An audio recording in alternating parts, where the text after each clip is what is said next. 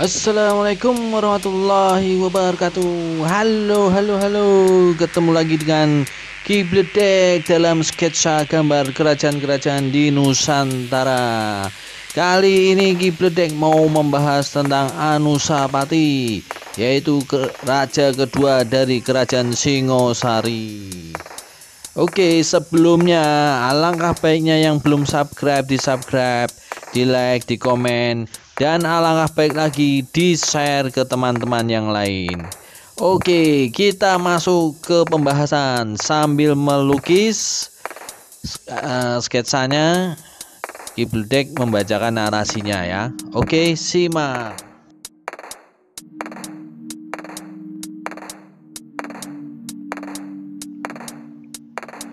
Batara Anusyapati adalah raja kedua Kerajaan Tumapel yang terkenal dengan nama Kerajaan Singosari. Menurut versi Nagara Kertagama, memerintah pada tahun 1227 sampai 1248.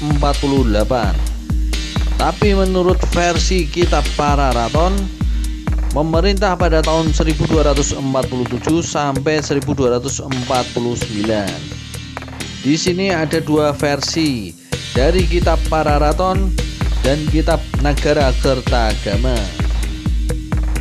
Menurut versi kitab Pararaton, Anusapati adalah putra pasangan Tunggul Ametung dan Ken Dedes.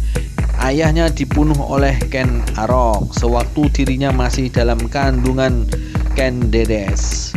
Ken Arok kemudian menikahi Ken Dedes sehingga Anusapati adalah anak tiri dari Ken Arok.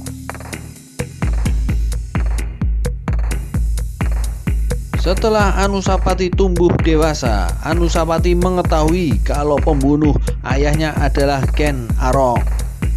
Maka Anusapati berniat membalas dendam kepada Ken Arok.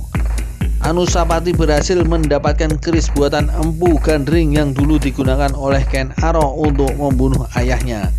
Dan dengan keris itu pula Anusapati membunuh Ken Arok.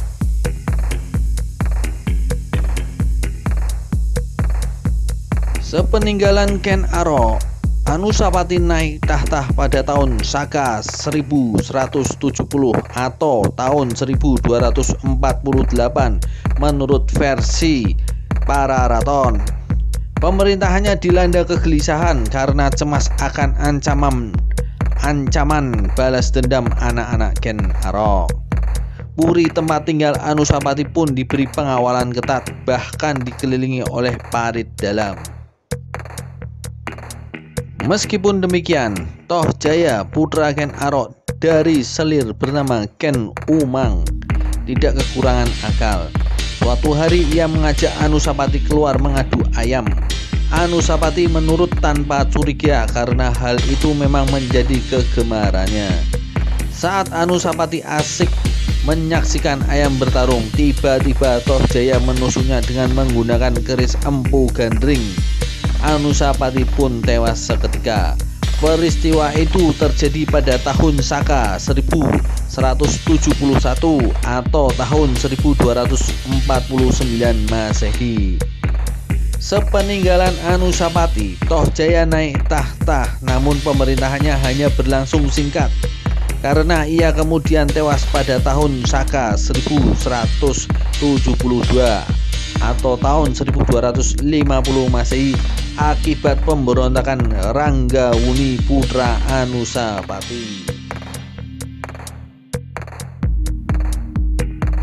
Menurut versi Kitab Nagara Kertagama, Anusapati adalah putra dari Ranggah Rajasa Sang Nata Putra, yaitu nama pendiri Kerajaan Tumapel.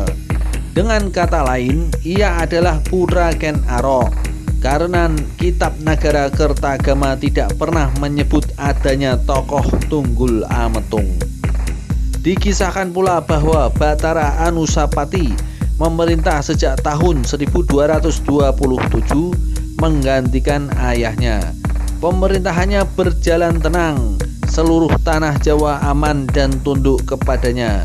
Anusapati akhirnya meninggal pada tahun 1248 dan digantikan putranya yang bernama Wisnu Wardana alias Rangga Wuni. Untuk menghormati arwah Anusapati, didirikan candi di Kidal di mana ia dipuja sebagai Siwa. Itulah menurut versi Kitab Nagara Kertagama.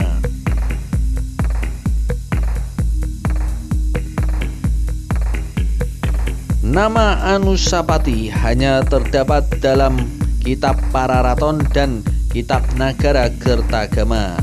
Naskah Pararaton ditulis ratusan tahun sesudah zaman Tumapel dan Majapahit.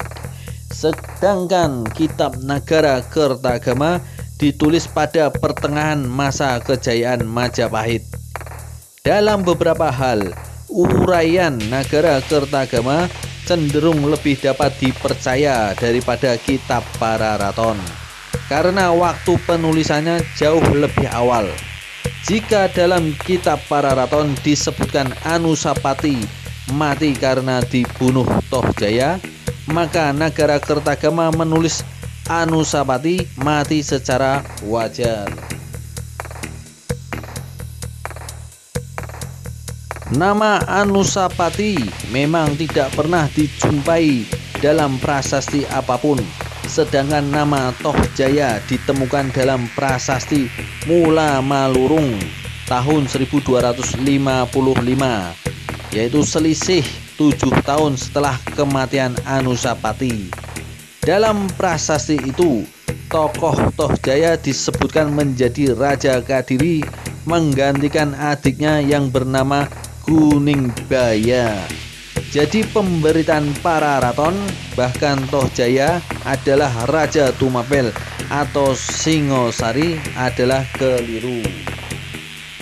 Berdasarkan prasasti tersebut, tokoh Toh Jaya mungkin memang tidak pernah membunuh Anusapati sesuai pemberitaan Nagara Kertagama. Jika Toh Jaya benar-benar melakukan kudeta disertai pembunuhan, maka sasarannya pasti bukan terhadap Anusapati, melainkan terhadap Kuning Baya. Itulah sekilas cerita Anusapati dari kitab Pararaton dan kitab Nagara Kertagama. Oke, yang belum subscribe di subscribe, di like, di komen, dan di share. Wassalamualaikum warahmatullahi wabarakatuh. Semoga sobat-sobat Budek selalu sehat walafiat.